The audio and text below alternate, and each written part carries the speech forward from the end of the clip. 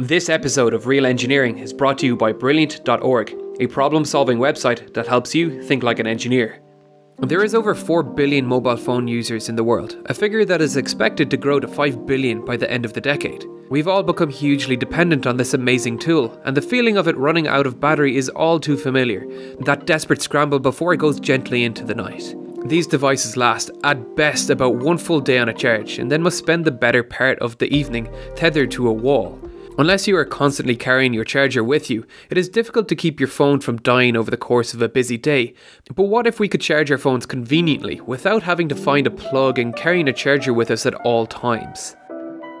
With the proliferation of electric cars and electronic biomedical devices like pacemakers, one vital piece of technology, first developed about a century ago, is set to significantly improve the way we keep our devices powered. It's called wireless charging and it's popping up in cafes, fast food restaurants, and IKEA furniture. Although there are competing standards, wireless charging is power delivery from a power source to an electronic device without the need for a tethered wire connection. Inductive charging is the most popular form of wireless charging for mobile devices, and leading the way is the Wireless Power Consortium with their Qi Open Interface standard. Using fundamentally the same technology, other groups are incorporating inductive charging tech for use in electric vehicles. Getting to the bottom of inductive charging, you need to go all the way back to the mid 1800s when Michael Faraday discovered the underlying principles of electromagnetic induction. He discovered that in the presence of an alternating magnetic field, an electromotive force would be produced across an electric conductor. By the late 1800s, Nikola Tesla utilized this idea and demonstrated the phenomenon of resonant inductive coupling by lighting an incandescent lamp wirelessly. By tuning the current to match the resonant frequency of the coils, the two coils would couple, providing higher efficiency power transfer. The discoveries that stemmed from Faraday's led to the modern electrical motor and other unmeasurably important inventions. However, for inductive charging, the science proved easier than implementation. For starters, there weren't many electronics that would greatly benefit from such technology in the days of Nikola Tesla, and due to limitations in circuit board design and size constraints, it wasn't until the 1990s and 2000s that the technology became viable at the consumer electronic level, where we started seeing wireless charging toothbrushes and in 2008, wireless charging mobile phones. An inductive charger consists of only a few parts AC current from the wall, an oscillator electrical circuit, and the transmission coil. The transmission coil is a tightly wound copper element that, as the alternating current passes through, will produce a magnetic flux. The magnetic flux density is based on things like the number of turns in the wire, the diameter of the transmission coil, the distance from the coil, and other properties such as current. On the receiver's end, the process is basically the same except opposite. In the receiver device, a coil of the same type is embedded into the charging circuit. The alternating magnetic field is picked up by the receiving coil and a current is induced. The AC power is passed through a power rectifier and stabilizer to convert it into DC power the phone can use to charge the battery. Both the transmitter and the receiver have electrical resonant frequencies designed to be the same. For low displacement distances, such as a mobile phone on a charging pad, it is actually less efficient to operate at the circuit resonant frequency due to heat generation. However, for a larger displacement distance, such as a car parked over a charging pad, operating at the resonant frequency causes inductive coupling to counteract some of the displacement related transmission losses. There are many other factors that affect performance of transmission, and with no standardized design on the phone's end yet, charging pads need ways of detecting the type of device it is charging, have multiple coil arrangements, and control modules to alternate between modes. The two big questions with inductive charging are ones we keep coming back to. Do people really care about the technology, and what are the implications of inductive charging becoming popular?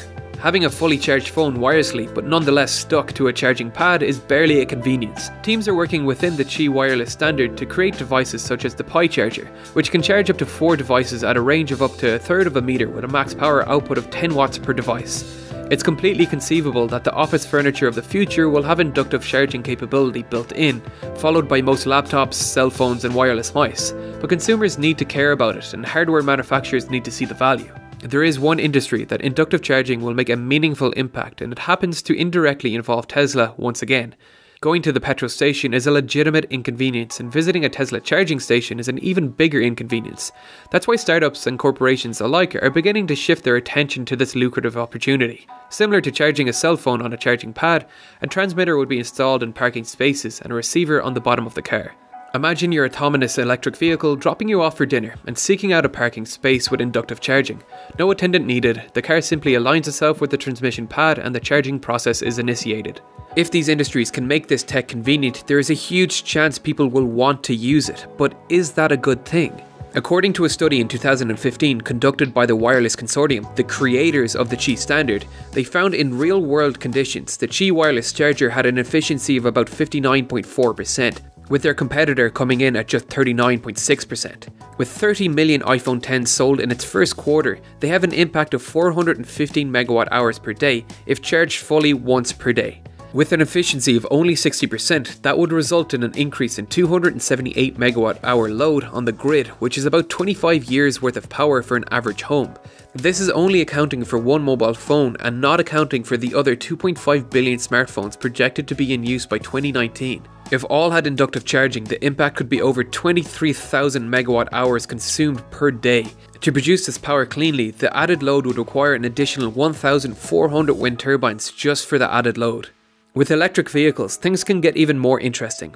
The Tesla Model 3 is getting between 4.5 and 5.5 kilometers per kilowatt hour, depending on driving habits. With a daily commute of 35 kilometers, a Tesla uses 7 kilowatt hours, or almost the same power usage as a small family home. So for every EV on the road, it's similar to adding another house on the grid, and when you introduce inductive charging, it can equate to adding nearly two additional homes. National power grids can likely accommodate this growth, but local infrastructure may not be capable or even willing to expand their capacity for the sake of convenience to EV drivers. A lot of the added stress on the grid is based on the fact inductive charging is an inefficient technology, but that may not necessarily be true forever. Oak Ridge National Lab recently demonstrated a 20 kilowatt inductive charging system that operates at 90% efficiency, with power delivery up to 3 times faster than traditional wired charging.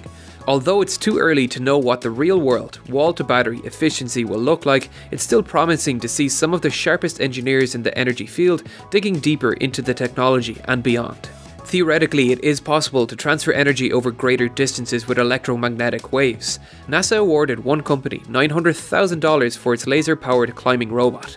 The robot had no power source on board and managed to climb 900 meters up a cable suspended from a helicopter in just under 4 minutes, using a high powered laser to provide enough energy to solar cells on its undercarriage. This is a fascinating technology that could have huge potential. We could have huge solar cells in space beaming down energy to Earth or other satellites, but right now the power lost in transmission is far too great to be useful, and this is a problem that is really facing current technology on Earth, whether we want to acknowledge it or not.